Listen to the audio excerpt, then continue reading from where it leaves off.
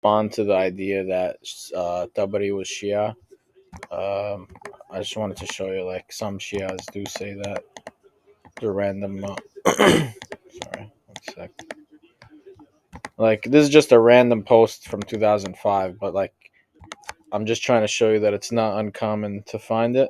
And he says, oh, shoot.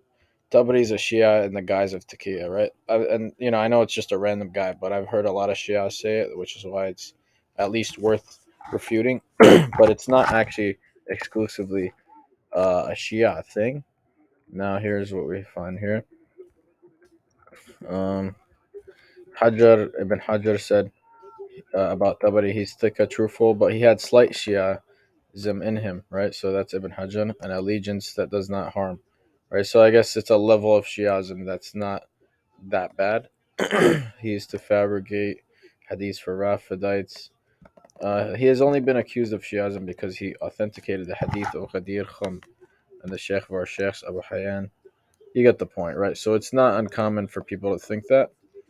And this is actually another interesting post, right? and this is in Tarikh al Tabari. Actually, let me Maybe I could find the whole thing for you. One sec. Writing about Jafar ibn Abi Sufyan. Hmm. Let me. I, I, I could probably find it. One sec. Let me pause. Well, the guy doesn't really actually say which um which volume it's in. I tried finding the looking in the Muawiyah volume, but I didn't really find it. It's probably there though. But anyways, it says here. Let's read it. Jafar died in the middle of Khalifa of Muawiyah and I don't know if he's cursing Jafar to be honest, but it says may God curse him. And I know I know that he was critical of Muawiyah, right? So I guess that doesn't make someone a Shia.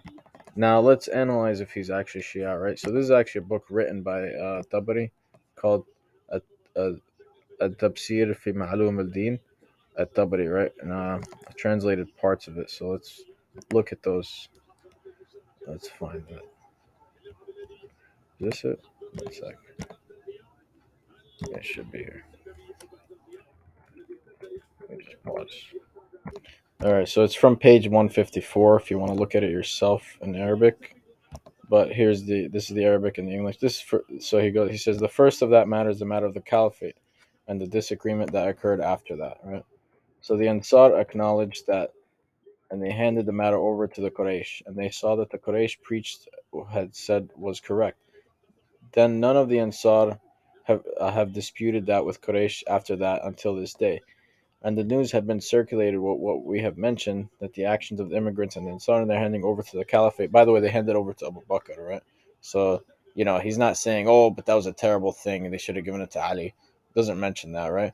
The leadership to the Quraysh and their belief in their preacher. We are the rulers and you are the ministers, without any denial from them, except those who deviated, blah, blah, right? That's the rest. And then there's more. Uh, yeah, I think that's it. All right. And the news had been circulated with what we mentioned of the actions of the immigrants and the Ansar, and they're handing over to the caliphate. I, I think we just read that.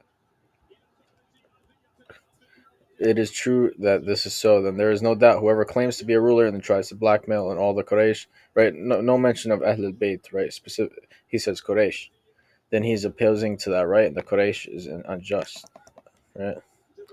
As for the dispute between the Quraysh over the Emirat and the claim of some of them against others that he is more deserving of the caliphate and his position on that fight after they handed over the matter to public, the public people of Islam must help the oppressed against them, the oppressor.